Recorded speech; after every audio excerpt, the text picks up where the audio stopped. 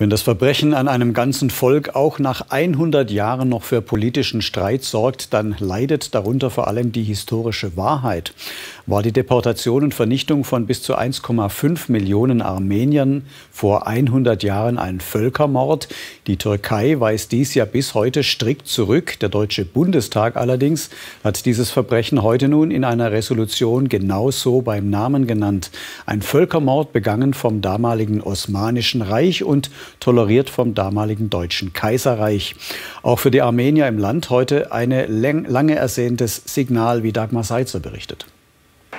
Der Pfarrer der armenischen Gemeinde Baden-Württembergs ist tief bewegt. Die Tränen fließen, als die Abgeordneten des Deutschen Bundestages die Resolution mit nur einer Gegenstimme und einer Enthaltung annehmen.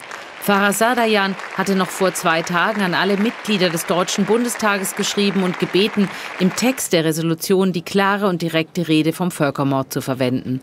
In der Bundestagsresolution findet sich jetzt die Passage und Cem Özdemir formuliert im Sinne des armenischen Gemeindepfarrers aus Göppingen. Indem wir den Völkermord anerkennen, die deutsche Mitverantwortung daran bekennen und die Aufarbeitung vorantreiben, möchten wir aber auch die Bürgerinnen und Bürger in Deutschland mit türkischem Hintergrund die Möglichkeit geben, dass sie Antworten auf die Fragen finden, auf die sie in den türkischen Geschichtsbüchern sicherlich keine Antwort finden. Und ich weiß da, wovon ich spreche.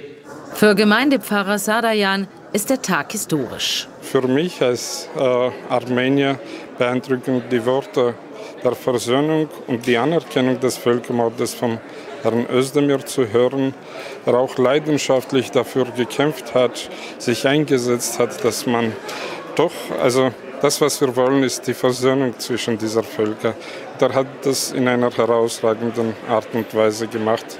Der Chef der türkischen Gemeinde in Baden-Württemberg sieht das ganz anders. Berlin inszeniere eine Politshow. Viele Türken warteten eher auf die Aufarbeitung der NSU-Morde und anderer rassistischer Angriffe dass über solche Sachen in den deutschen Medien, in der deutschen Öffentlichkeit weniger diskutiert wird. Aber in der Armenier-Frage, die jetzt den Alltag, den Türken in Deutschland eigentlich gar nicht äh, so richtig betreffen, so heftig diskutiert wird, teilweise bis Bashing, äh, das belastet natürlich das Verhältnis zwischen Türken, Deutschland-Türken und Deutschland.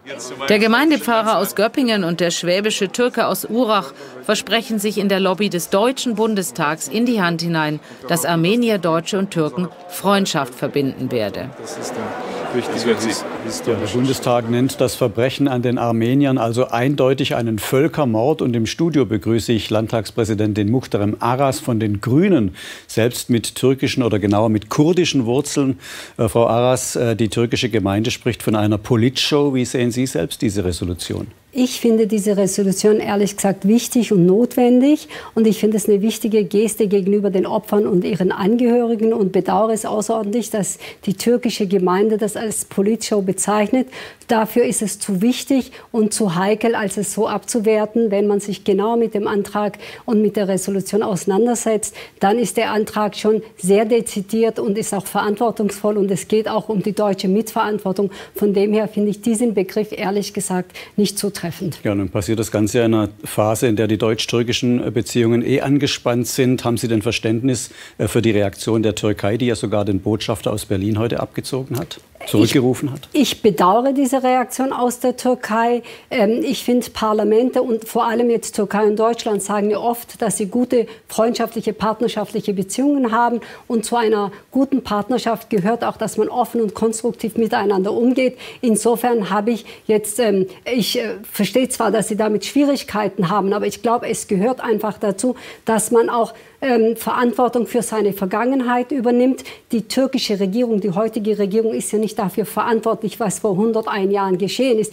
Die Frage ist nur, wie ähm, mache ich Geschichtsaufbereitung und wie gehe ich in der Zukunft damit um. Und insofern ähm, habe ich da, äh, relativiert sich mein Verständnis.